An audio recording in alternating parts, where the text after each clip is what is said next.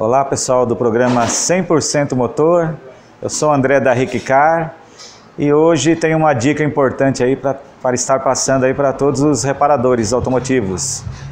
É a famosa coifa da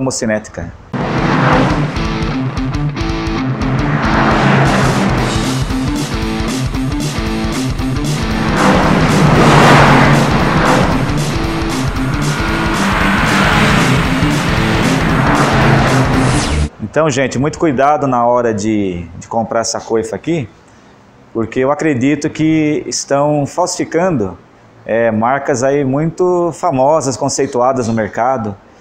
E aqui eu tenho um exemplo e uma prova do que aconteceu comigo. Eu troquei a coifa desse carro, é, não durou três meses e veio na embalagem de uma marca conceituada com, com, com a qual eu trabalho há muito tempo.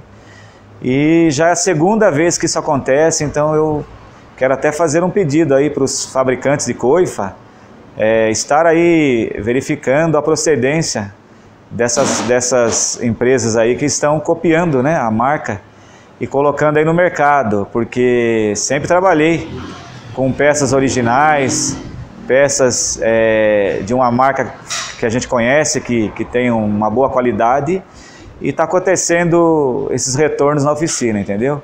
Então tem aqui uma original na minha mão, uma coifa original. Você vê aqui que o material ele é bem resistente e tenho aqui também a coifa que que nós tivemos o retorno que durou três meses. Quero ver se a câmera consegue pegar aqui, ó, é a famosa coifa gelatina, né? Essa coifa gelatina aqui, ela, eu não sei se ela não aguenta a, a graxa, o produto que vai aqui dentro. Eu quero colocar bem perto da câmera para estar mostrando, olha. Com três meses a coifa ela rachou toda. Tá vendo? E tinha um carimbo aqui de uma marca muito conceituada no mercado. Só que a marca, a tinta saiu na hora que eu retirei a coifa. Então fica aí o alerta, a dica aqui da Rickcar. Verifica direitinho, dá para sentir que ela parece mesmo uma gelatina de tão mole que é, né?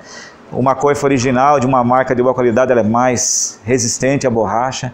Então fica aí um abraço a todos e a dica aí para o programa 100% Motor.